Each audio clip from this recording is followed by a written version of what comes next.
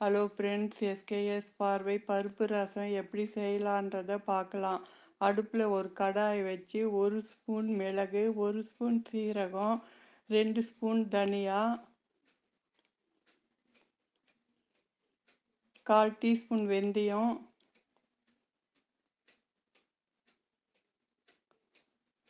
ரெண்டு காஞ்ச மிளகாயும் கிள்ளி சேர்த்துக்கலாம்.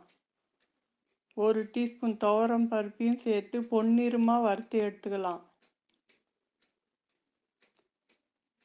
நல்லா வறுப்பட்டுடுச்சு. ஒரு தட்டில் மாற்றிக்கலாம் ஆறட்டும். கொஞ்சம் பெருங்காயத்தையும் வறுத்து எடுத்துக்கலாம்.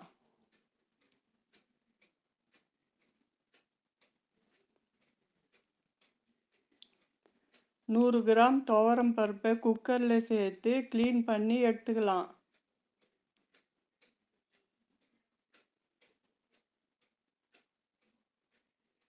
தேவையான அளவு தண்ணி சேர்த்துக்கலாம்.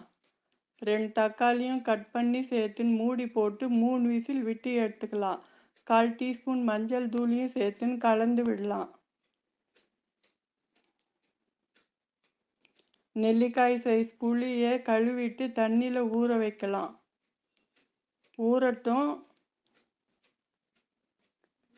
வறுத்து வச்ச பொருள்களை மிக்சி ஜாரில் சேர்த்து கிரைண்ட் பண்ணி எடுத்துக்கலாம்.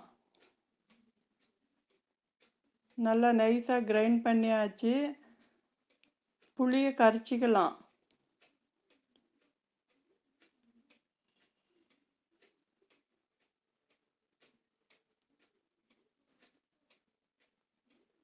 குக்கரில் பருப்பு வெந்துடுச்சா பார்க்கலாம். நல்லா வெந்துடுச்சு. ஒரு க கரண்டியில் மசிச்சுக்கலாம்.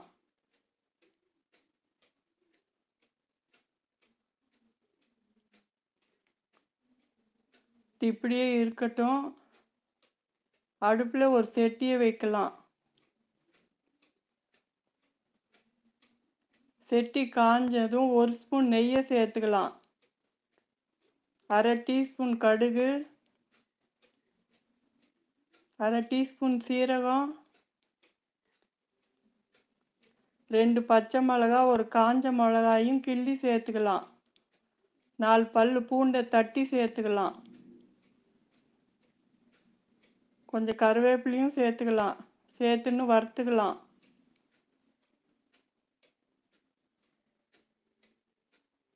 நல்லா வறுப்பட்டுடுச்சு. புளி கரைச்சலை சேர்த்துக்கலாம்.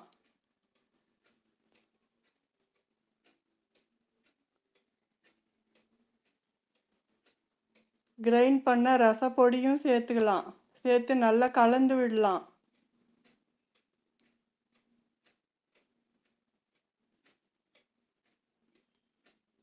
ஒரு தட்டை போட்டு மூடி வைக்கலாம். நல்லா கொதிக்குது. பச்சை வாசனை எல்லாம் போயிடுச்சு. வேக வச்ச பருப்பில் கொஞ்சம் தண்ணி சேர்த்து சேர்த்துக்கலாம்.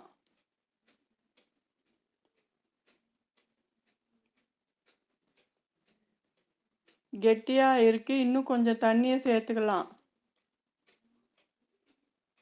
கலந்து விடலாம்.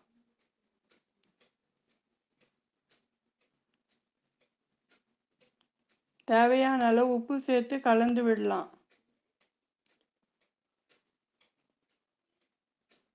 ஒரு தட்டை போட்டு மூடி வைக்கலாம்.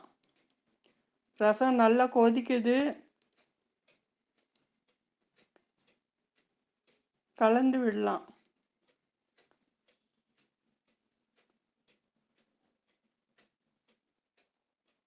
கொஞ்சம் கொத்தமல்லியும் சேர்த்துன்னு கலந்து விடலாம். பருப்பு ரசம் ரெடி ஆயிடுச்சு. இந்த சேனலுக்கு சப்ஸ்கிரைப் பண்ணுங்க லைக் பண்ணுங்க ஷேர் பண்ணுங்க வீடியோவை ஸ்கிப் பண்ணாம பாருங்க.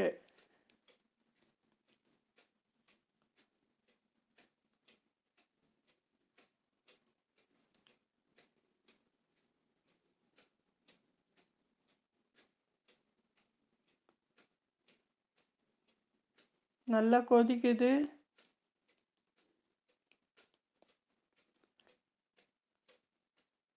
சாதத்தோடு ரசம் சேர்த்து நல்லா பிசைஞ்சு சாப்பிடலாம்.